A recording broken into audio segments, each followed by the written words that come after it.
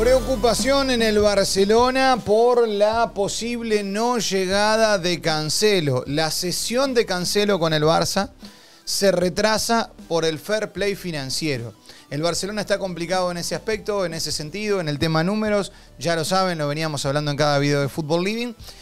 Pero también lo venía hablando y lo venía diciendo. Con Cancelo ya está todo acordado. Con el club ya está todo acordado. El problema son los números del Barça. El problema principal es que se esperaba que el Englet se fuera del Barcelona. El problema es que el Englet en principio no se va.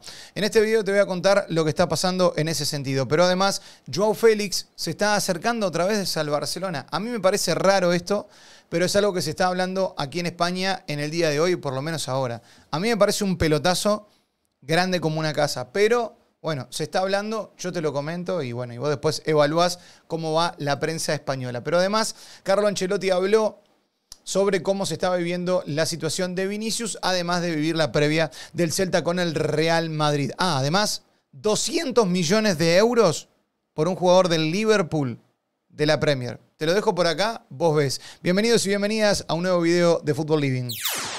Si no lo sientes, no lo entiendes. Football Living. Y arrancamos con esto. ¿Por qué? Porque la sesión de Cancelo con el Barça se retrasa por el fair play financiero. Te lo comentaba en el comienzo. Todos los detalles del fichaje de Cancelo están cerrados y el acuerdo final solo es cuestión de tiempo, pero por los plazos va a ser casi imposible, evidentemente, que juegue este fin de semana. En el club Blaugrana confían en cerrar un acuerdo de una sesión con una opción de compra por un valor de 250 millones de euros. 250 millones de euros. ¿El problema cuál es? Y bueno, el problema es el fair play financiero, ya que el Barcelona contaba, como te comentaba recién, con la salida del Englet del club y bueno, aún no, no se ha salido. Ahora, ¿cuál es el tema? ¿Cuál es la solución? Bueno, el club plantea una recesión de contrato en caso del que Central francés no encuentre destino. O sea, la prioridad es Cancelo. Lenglet, nos vemos en Tokio, prácticamente. Si no se llega, bueno, para afuera y listo, porque la opción es cancelo. ¿Será bueno, será malo? Comentarios en el chat abajo me gustaría, porque se habla de que es un jugador problemático, de que tiene problemas este, con los vestuarios, etc. No sé, se habla eso, se habla muchas, muchas cosas, pero no sé qué opinas. Comentario abajo y decime si te parece un buen jugador o un mal jugador para este Barcelona y para esta temporada. Otra de las cosas que se está hablando en el día de hoy, a mí me llama la atención, pero bueno, yo lo comento igual. Joao Félix cerca del Barcelona, dicen acá, y de acuerdo con diversas fuentes es probable que se concrete el pase del jugador a la capital blaugrana, luego de que este, está completamente borrado del Athletic. Claro, en el Athletic no lo quieren a Joao Félix. No lo quiere nadie en el Athletic. Y mucho menos lo van a querer luego de las declaraciones que hizo con respecto a que quería ir al Barcelona. Ahora, haber declarado que quería ir al Barcelona es bueno y malo. Es bueno si el Barcelona lo quería. Es malo si el Barcelona no lo quiere. Porque si el Barcelona no lo quiere, ¿cómo vas a llevarte a este bebote a tu equipo si te dijo que quiere estar en otro? Complicado. Después en su vestuario no lo quiere nadie. Es raro, tiene 23 años. Y una temporada horrible ha tenido en el conjunto del Chelsea. La negociación avanza, dicen por acá, Barça Universal, eh, entre el Atlético de Madrid y el Barcelona por Joao Félix. El jugador de player will join Barça, quiere ir al Barça eh, con, bueno, 7 millones a 8 millones, etc. No sé, dicen por acá, no sé, yo te lo dejo por ahí. Vos ves qué, haces. Yo te comento lo que hay. A mí me parece un pelotazo enorme. Eso sí te lo tengo que decir. Me parece mentira. No, no, no. Yo te lo comento y te muestro la fuente de dónde salió. Para que después no digan, Perry, sos vos el que está tirando clickbait. No, yo te estoy tirando las noticias del día y en función de las noticias del día voy tomando unos mates y te voy opinando. Para el que no sabe, soy uruguayo, estoy viviendo en España, vivo de esto, dependo de tu like, de tu comentario, etcétera, etcétera, etcétera. ¿Qué voy a hacer? Es por acá. Hablemos ahora de Carlo Ancelotti. ¿Por qué? Porque también habló hoy, no sé si viste el video anterior, en donde hablaba Carlo Ancelotti de Luis Rubiales, que posiblemente renuncia en estas horas. ¿eh?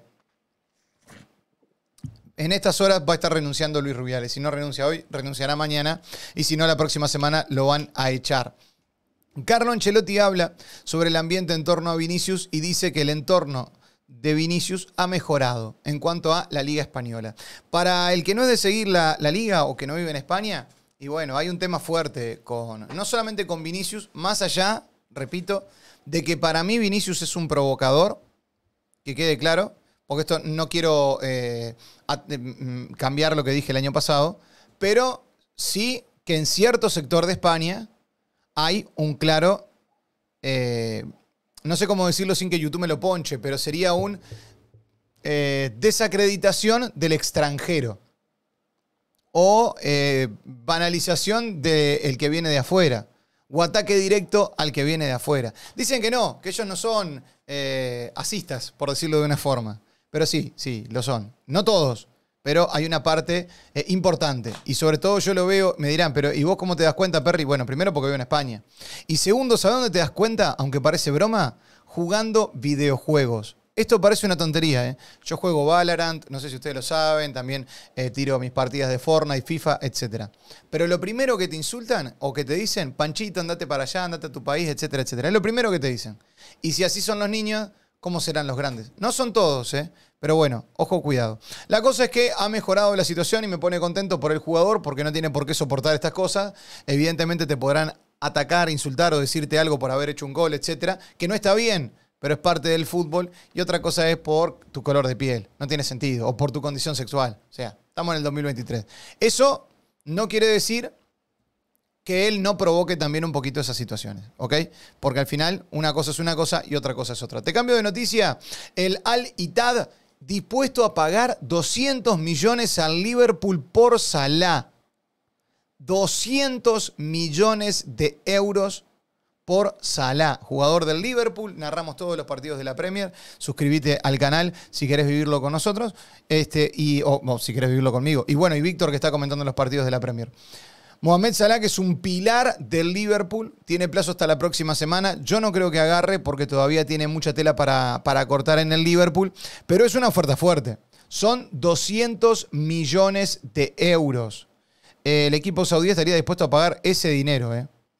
Ojo, cuidado. Es el equipo actual de Karim Benzema y estaría dispuesto a dejar ese dinero por el jugador. Es mucho dinero.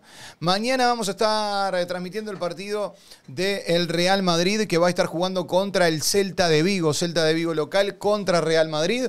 Un Real Madrid que va a poner como titular a Kepa y nos va a poner a Lunin ya directamente al banco Lunin y va a ir Kepa.